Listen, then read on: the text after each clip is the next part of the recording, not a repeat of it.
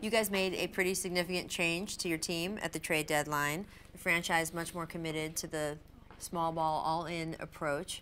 What input did you have in deciding this was going to help you guys get to where you needed to go?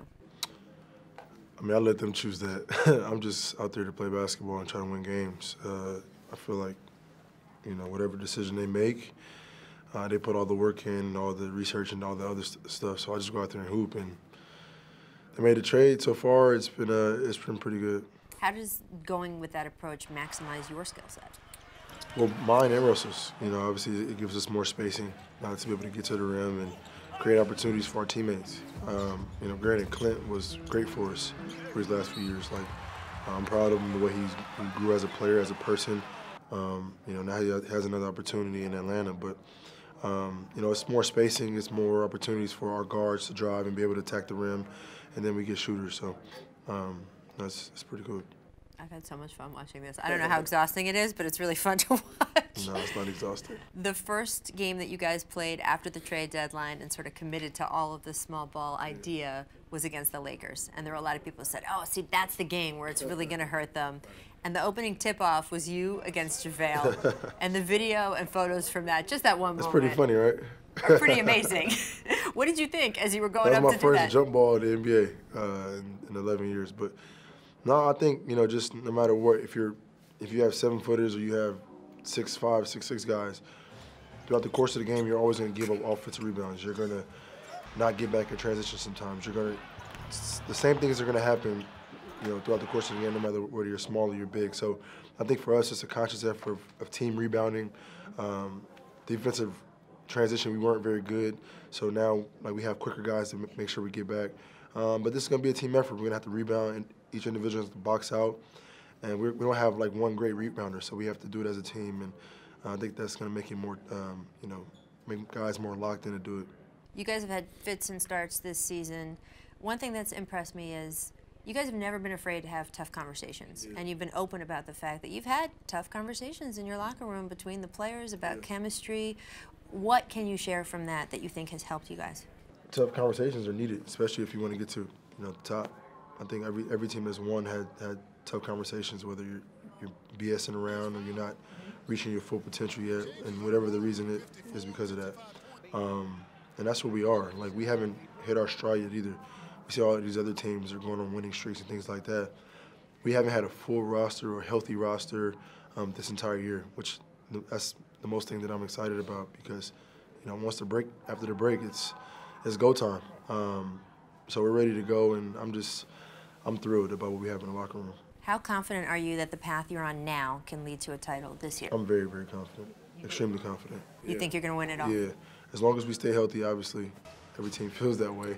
Um, so as long as we can stay healthy and uh, defensively be on the string, I think which we've almost gotten rid of, uh, we're going to be a tough challenge. The All Star game is a collection of the NBA's best players. Yeah. Where do you think you rank in that right now? What do you mean? Where do you think you rank among the NBA's best players right now? I feel like I'm the best player. Um, yeah, I just throughout the course of the year, I don't see uh, double teams from anybody else.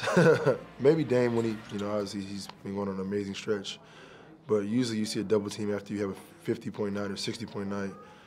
If I have a 18.9, I'm, the next game I'm seeing a double team, which is pretty cool. You know, it's, the NBA has never seen it before um, at half court.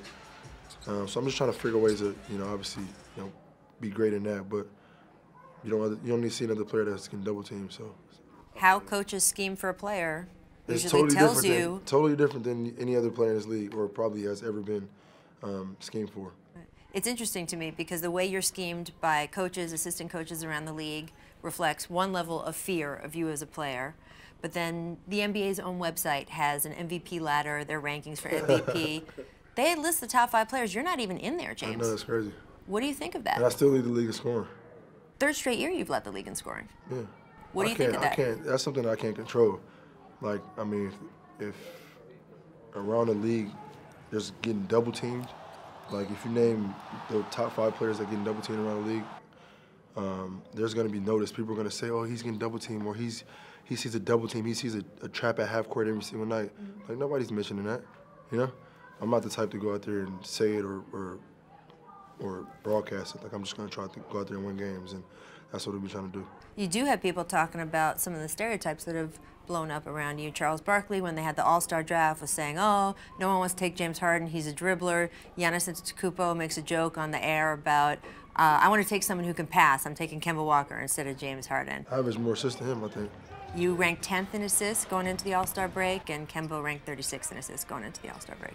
So I don't see. I don't, I don't see what the joke is, but I don't even. I, I didn't even see it. I don't. I don't pay attention to stuff like that. Uh, I just know none of them can mess with me. Well, Daryl Morey, your general manager, had a great line to kind of address all of that. He said, being different doesn't really get appreciated until it works. Yeah, or when I'm done. Uh, you know, when it's when it's all said and done, um, you know, they'll appreciate it more. You know, but I wish I could just run, run and with seven feet and run and just dunk. Like that takes no skill at all. I got to actually learn how to play basketball and how to have skill. You know, I take that any day. Do you think that in the end, a title is going to give you the respect that you think yeah, you deserve? I mean, it is, and I will get it. You feel confident about that? Yes. Very. I like it. Thank you. I appreciate it. I love. Thanks for watching ESPN on YouTube. For more sports highlights and analysis, be sure to download the ESPN app. And for live streaming sports and premium content, subscribe to ESPN Plus.